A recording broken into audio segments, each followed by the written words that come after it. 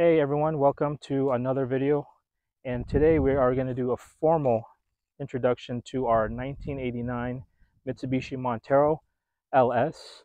Uh, we saved this Montero uh, last year around March and June. Uh, I first saw this Montero early part of 2022, I believe. But yeah, I did a video on that. That's right here on the link. Go ahead and check it out but uh, yeah we're i never did a formal video an introduction to it. Uh, that video right there was just showing uh, little bits and pieces uh, how we saved it. Uh, but have today's video I am going to actually do a formal walkthrough video of the Montero uh, as it is right now. So the story on this Montero is it was owned by a gentleman named Phil. Um, the business, as you can see, is still on the side of Montero. He ran a detailing business and um, he owned this truck brand new. I believe he bought it up north. And uh, it was only up north for a short time before he moved down to Florida and started his um, uh, detailing business. Basically, this was a family vehicle slash a business vehicle. Uh, his kids uh, pretty much grew up, took him to school, did all that. There was a history with him and his family with this vehicle. He did love this vehicle till uh, one day uh, he was driving to the business to work and um, he noticed that it was overheating on the highway. He was able to make it back to his business, but it was too late.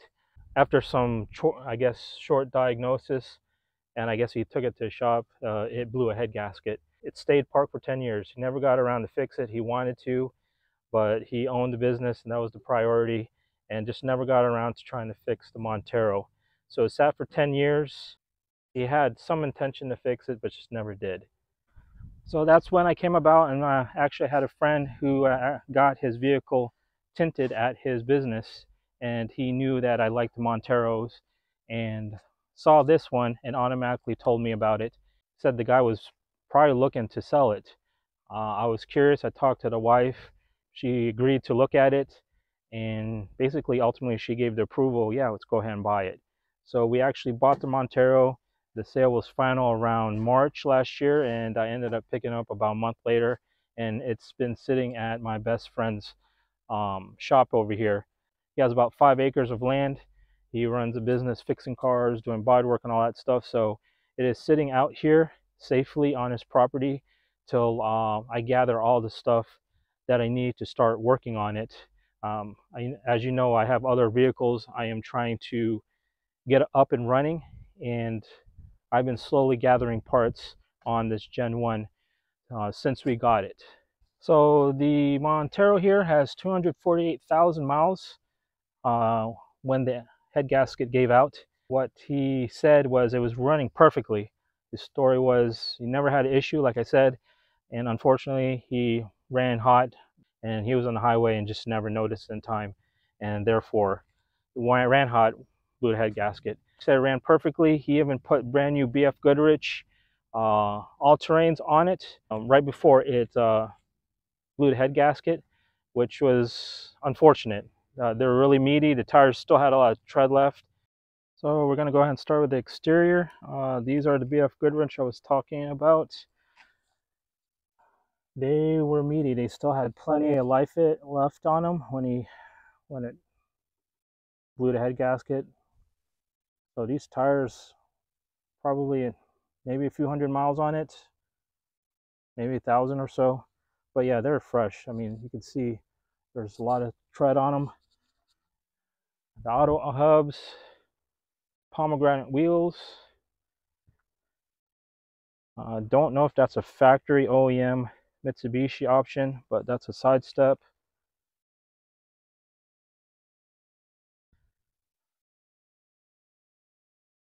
So that's the vinyl for his uh, business here. We're going to have to obviously take that off, peel it off once we get started restoring it. Uh, looks like a factory size spare tire. Tow hitch. Bumpers are clean. End caps probably be, need to be replaced. That's easy. but there's no dents. He said this vehicle has never been in an accident.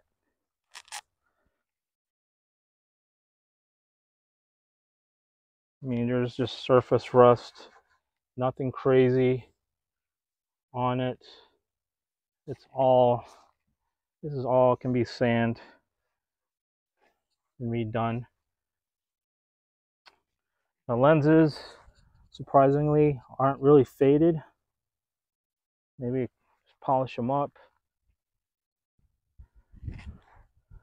Uh, the only spots we're gonna have to pay attention to and give some care right here on the gutters. Uh, this is rusted out right here. Um, so we're gonna have to like shave this down and weld in new metal. Uh, this looks like this is the only spot on the Montero in the rear that has this rust issue. Mostly, mostly on this side. Now as you can see there's a hole through there. But the rest of it looks good.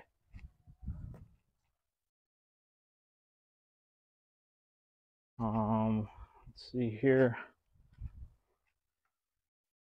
Front, we're missing the washer nozzles. That's no big deal. Front bumper looks really good.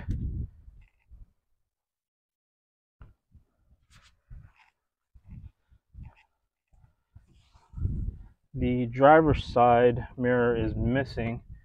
That disappeared. So that that's missing. Actually, that's fine. I've already gathered, like I said, I've been gathering parts, so I already have a replacement for those. All right, we're gonna do the interior now.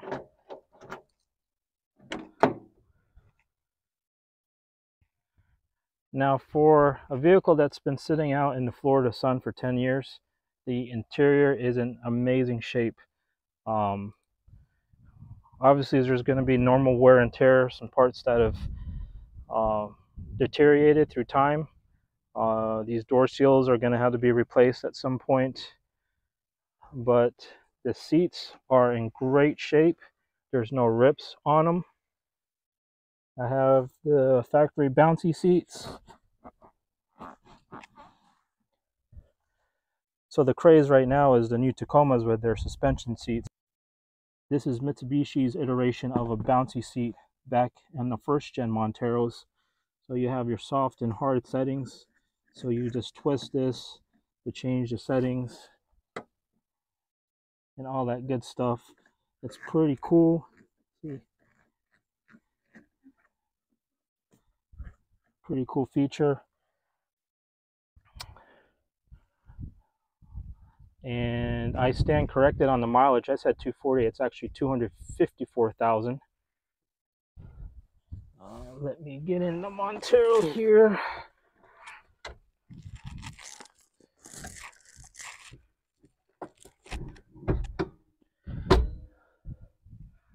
So the dash is in really good shape, just needs to get clean. The inclinometer is still filled with fluid. He must have replaced the factory oil pressure gauge at some point. Voltage right here. Some old Clarion head unit. Tape deck is Front seat's in good condition. Headliner is not dropping.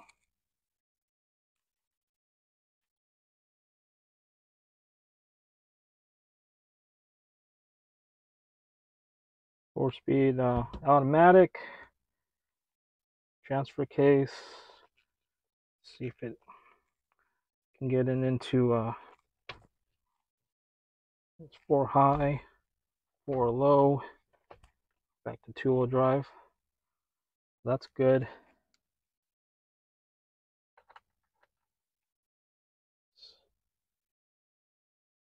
Leather steering, steering wheel. Kind of deteriorated, but still in decent shape. Here's the passenger side. Door panels look good. Old CD player thing. There's a leak somewhere, so I'm going to have to attend to that at some point. Gonna have to figure out where the leak coming from. I have a feeling it's probably one of these this weather strip here or the door strip. Front seat still in really good shape. Uh, let's check out the back seat.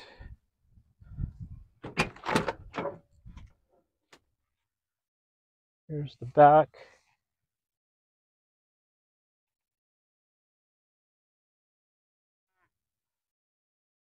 Really good shape. Seats are in good shape.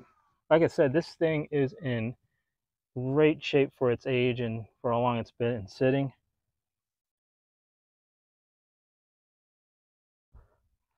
And then here's the cargo area. Um, tailgate is not opening from the outside, so um, probably the latch or something, the locking mechanism, the handle out there has broken, so I'm going to have to get through it from the inside. But that is the back area.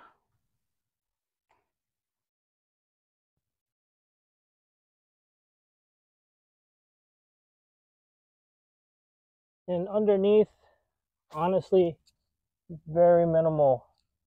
I don't think there's any rust issues. Uh, you can tell right away if there's rust issues from back here.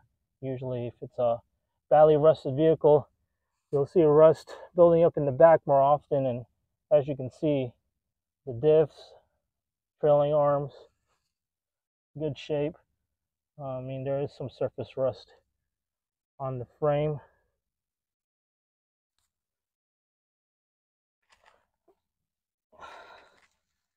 This is the middle right here where the transmission is. Can't, pretty much all I can get as far as view, but there's not a lot of rust. So that's a big plus.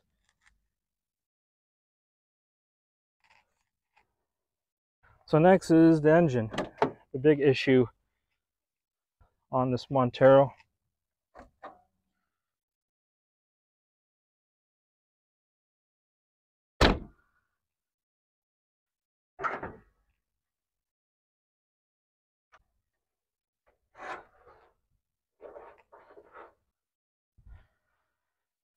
here it is.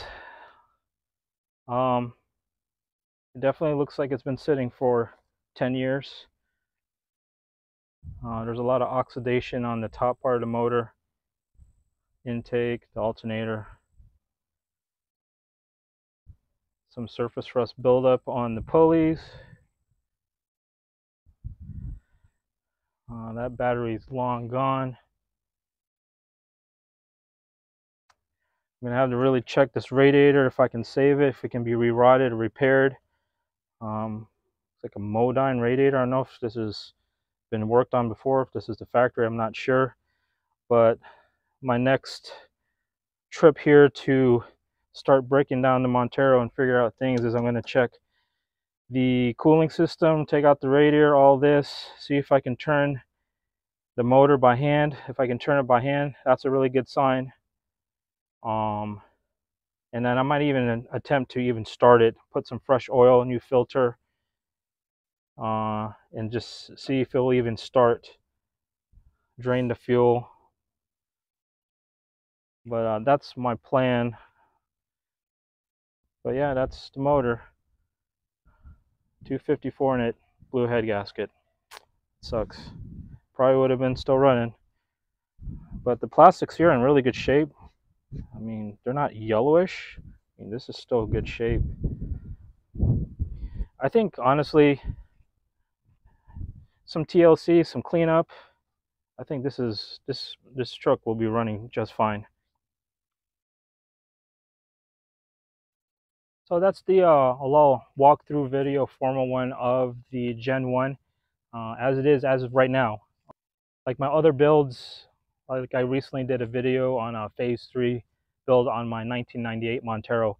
Uh, all my builds I go through, I try to set up five phases. And typically the first phase is to get the vehicle to a perfect, a good starting point, which usually is fake, uh, focusing on maintenance and just fixing it up before I even do anything, um, I guess, fun for the vehicle, like adding accessories and doing stuff. The, the main goal in this build, unlike the 98 Montero and the 2002 Montero that uh, that's also on the list of uh, things that we're working on. This first gen is really a resto build. I'm not trying to go crazy with it like the 98 or um, even the 2002. I'm just trying to get this back to a normal stock-like condition. Um, there will be some light mods. The most likely there will be wheels and tires, uh, suspension, and some exterior exterior bits and pieces. So I can enjoy driving it. It's near stock-like, and if I want to take it off-road once in a while, um, we can do it. Um, it'll be set up for it to be able to do that and be able to maybe camp one or two days with it uh, down in the future once we get it running. But uh, yeah, these these Monteros are great. These are legendary. They have they're gaining in value. Um, they have a spot in automotive history. This put Mitsubishi on the map as far as in the. Um, you've probably heard it many times. To any Montero owner, they're going to say something about uh, the Montero Pajero has won the Dakar 11 times yes, that's part of its history, uh, but the appeal of the older SUVs, the Japanese SUVs, the boxy style, uh, to me, it's a timeless look.